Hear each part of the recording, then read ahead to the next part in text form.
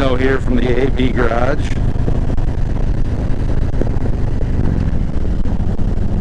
Out on another beautiful day with you. I'll tell you what, the weather this year has just been really awesome for riding. At least in my part of the country.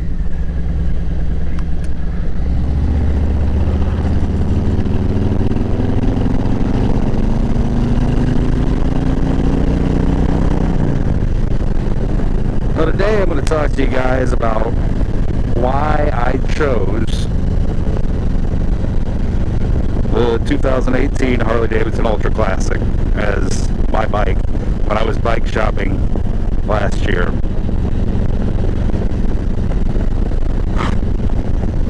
Have you guys been following my channel? You know that I've been riding since I was a kid and got out of it for a few years had a couple of my own kids and you know real life shit happened and whatnot. I've been wanting one one one one one. And my girlfriend we just went to go look one day. And she picked out this bike was like, I like the color of this one. She doesn't know fuck all about bikes. She's like, I really like the color of this one. And I was like, oh yeah, yeah, it's nice. She's like, well, let's talk to him. And I was, are you serious? Okay. And we sat down, ran some numbers, and talked to him, and I ended up riding the bike out of the showroom that day just not necessarily on a whim, but I'm pretty sure she did it. Told me to go ahead and get it just so I'd shut the fuck up. Because I'm sure I can be real annoying talking about certain things like that. So I'm, I'm fairly certain she was just trying to get me to shut up and once she realized that that didn't actually work, because now I talk about different parts and stuff for the bikes, and and now that she's into riding, I talk about all different kinds of bikes that we can look at getting for her. So her plan didn't really work. Anyway, I had told her that I was, you know, really wanted an Ultra and this and that. And the main reason was because these bikes fit me. I'm 6'2", about 250 pounds of pure sexy. And the way these bikes sit, they just fit a guy with my frame. You throw on some taller bars and some highway pegs and a driver backrest and you have a rolling couch that is just absolutely comfortable, so comfortable to ride. Well, that was the main reason. And but both of my parents, when I was growing up, rode Ultras. I guess they weren't technically Ultras, but they were full dressed out Harleys, you know, with a tour box and whatnot. And so I, I kind of always had it in my head that that was what I was going to get too. You know, add in the fact that I want to tour and truly ride this bike all over the place, you know, you kind of need the storage. I know there's a couple of people that do it, you know, on, on Dynas. Dynas are the in thing right now. I do it on Dynas and Softails, and but I really just wanted the the extra space too. And when I bought the bike, I got a lot of shit from my buddies a lot of them ride, you know, street glides or heritage or road glides. Uh, I have a buddy that rides a, a sports bike too, a Kawasaki Ninja 1000, what are those, ZX-R1s or ZX1, something like that. It's a, it's a liter bike that goes really fucking fast and it's stupid uncomfortable. But so I got a lot of a lot of friends that were busting my balls for getting the geezer glide is what they called it. And I went through months and months and months of being the butt of jokes because of my quote unquote pizza box on the back. It was literally called a pizza box. And you know what? I can fit about four large pizzas in that fucking pizza box. Can't do that on the street glide, so. You know, with these 2018s, well, 17 they came out with the Milwaukee 8, and I read about the motor, and I had looked at older older models of Ultras to potentially potentially buy. The problem is, I mean, you can find some low mile Ultras. You can find quite a few of them actually.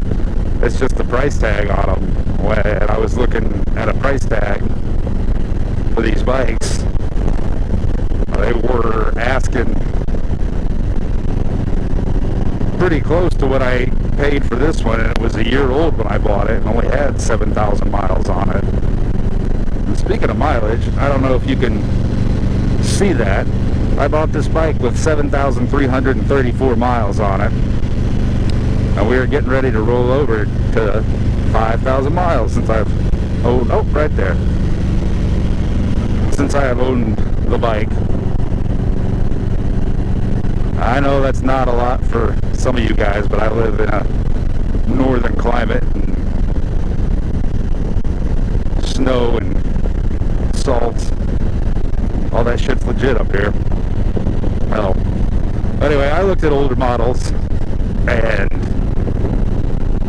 just couldn't really find what I was looking for in the price range that I was looking for that either they were asking too much in my opinion or the mileage was just super high.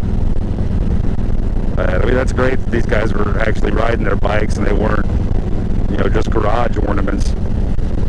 But I wanted something that had at least under 10,000 miles and, in a decent price range. And this bike met all of that criteria. And with used bikes, you gotta be careful too, because you don't really know what you're getting. And yeah, you can you can find a used bike that's got a lot of the accessories and, and stuff on it that you know you're looking for. But I uh, I kind of wanted to add add on my own things and make videos about doing that.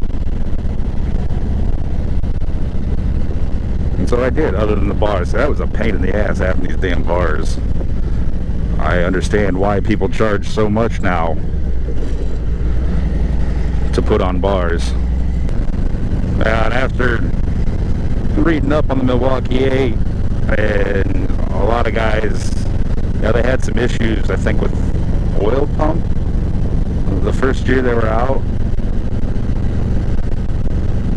So you know, really waiting a year and make sure Harley's got all the bugs kind of worked out of that was a good idea too. But reading up on the Milwaukee 8, I, I really, really wanted that motor. Like I said, I, I looked at used what used bikes, older used bikes, I should say, because this was used when I bought it, and My parents, I think they had the 88. I don't think they had the 96 in theirs yet. I don't know. But those bikes were pretty powerful for their size, but I really wanted at least a 103. So I was looking more in, in those those year models. I, I wanted a bigger bike because, you know, going fast sometimes is pretty fun. But eventually, you know, like I said, we just kind of stumbled on this bike and it's got everything on it that I wanted. But that's another thing is unless you're just starting out, if you've been riding for years,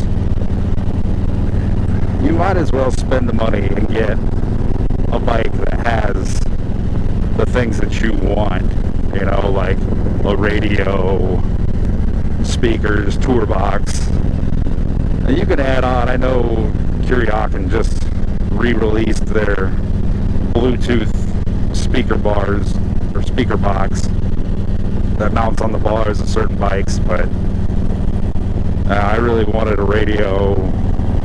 This has navigation and shit in it.